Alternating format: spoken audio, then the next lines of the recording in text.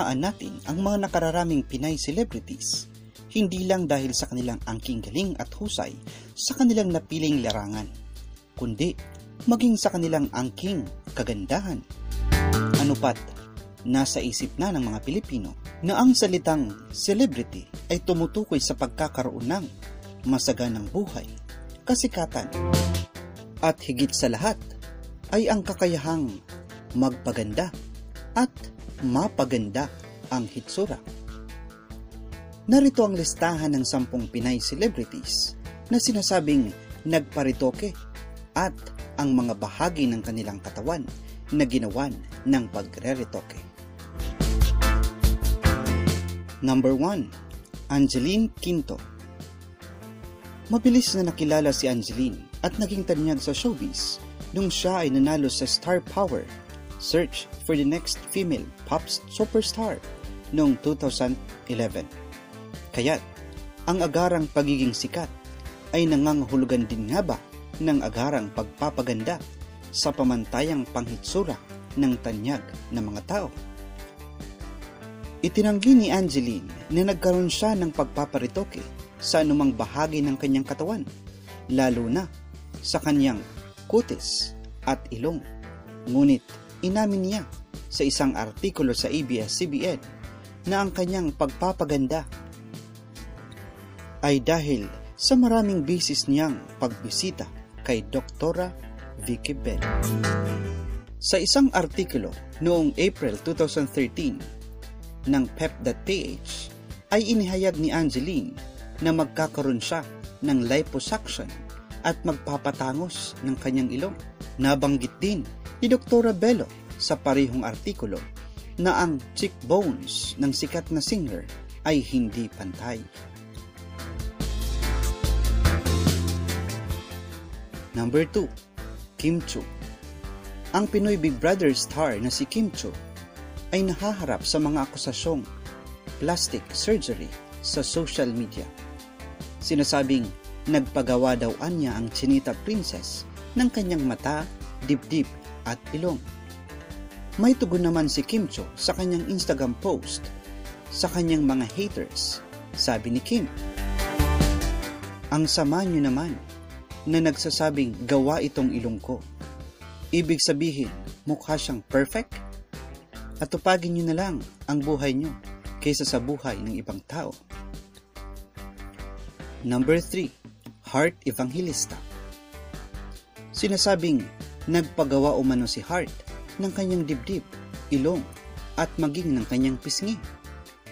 Kahit noong di pa man kasikatan si Heart, ay kilala siya bilang isa sa mga Filipino celebrities na may magandang mukha.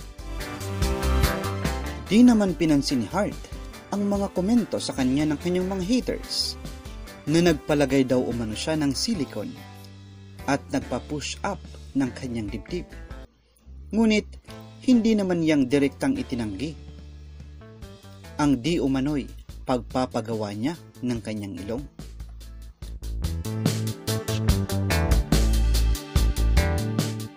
Number 4. Regine Velasquez Marami naman ang nagsasabi na nagpagawa umano ng kanyang ilong, si Regine, at maging ng kanyang pagpapaputi.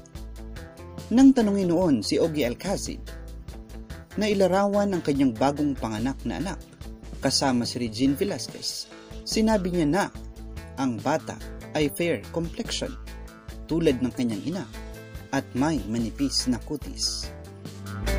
Hinayaan lamang ni Regine ang mga komento at mga puna patungkol sa kanya sa isang pakikipagpanayam ng Yes Magazine noong November 2012. Muli niyang itinanggi ang pag-inom ng maraming glutathione upang pumuti ang kanyang balat at ang pagkakaroon ng rhinoplasty upang halagaan at mapaganda ang kanyang ilong. Ikalima, Ibeth Santiago tulad ng karamihan sa mga kapwa niya titulada, ang nanalong Binibining Pilipinas Sopra National ay humarap din sa mga kontrobersya. Walang nakapigil sa mga mapanghusgang mga mata ng kritiko ang pagkakaiba ng kanyang ilong nang ito ay nasa pre-pageant pa lamang hanggang siya ay nakoronahan. Sinagot naman ito ni Beth nang may halong panggigigil at sinabing, Gaano ba kaganda ang ilong ko para mapagkamalan? Sinabi niya, dala umano ng makeup ang pagpapatangos ng kanyang ilong. Ika-anim, Catherine Bernardo. Tinatanong din ng marami kung nagpagawa ng kanyang ilong si Catherine Bernardo. Natuto nang unawain ni Catherine ang kanyang mga basher mula pa lamang noong siya ay labing anim na taong gulang pa lamang.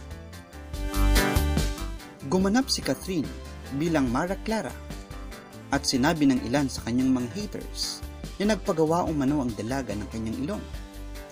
Itinanggi naman ito ni Catherine dahil napakabata pa daw umano niya para magpa-plastic surgery at wala daw siyang planong magpagawa ng anumang bahagi ng kanyang katawan.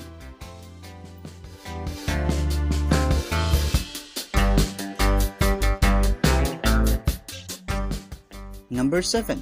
Chris Bernal Maraming mga haters naman si Chris ang nagsasabing nagpagawa umano siya ng kanyang panga dahil sa pagbabago ng hitsura ng kanyang bilugang mukha. Kibit balikat lamang ang naging tugon ni Chris at sinabing nadagdagan lang ang kanyang timbang at hindi nagpagawa ng ano paman.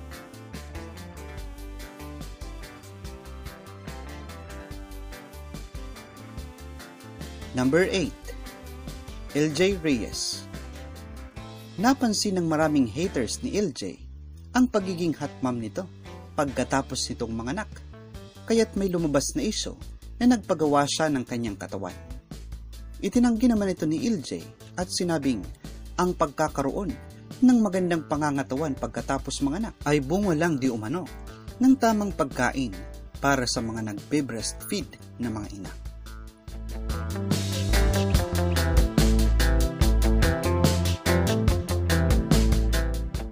Ikasyam, Tony Gonzaga. Ang komedyanteng si Tony Gonzaga ay nakapukaw ng atensyon sa publiko sa bagong itsura ng kanyang ilong nang magsimula itong maging host ng Pinoy Big Brother Teen Edition class. Sagot naman ni Tony sa kanyang mga haters. Ang pagiging maganda umano ng kanyang ilong ay bunga lamang ng OA na paglalagay ng makeup at ang pagpapalaki ng kanyang dibdib ay nilagyan lang umano niya ng padding. Ngunit inamin naman ni Tony na open siya sa ganoong mga bagay pag kaya na niya.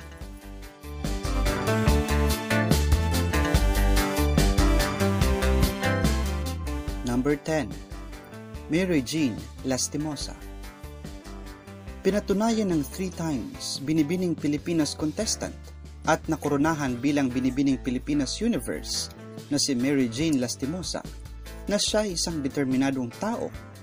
Ngunit, pinabulaanan naman niya na nagpagawa siya ng anuman sa kanyang katawan, lalo na ang kanyang ilong na siyang nagbibigay ng ganda sa kanya. Matapos makoronahan noong 25 taong gulang pa lamang siya, ay nagsilabasan sa social media ang kanyang mga larawan ng mga dati niyang binibining Pilipinas contest.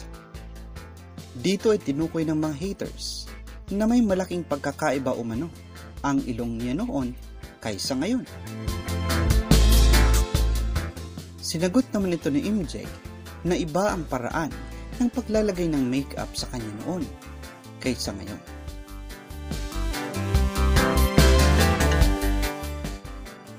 Mag-subscribe na sa aming munting channel Salamat sa inyong panonood, mga kasama.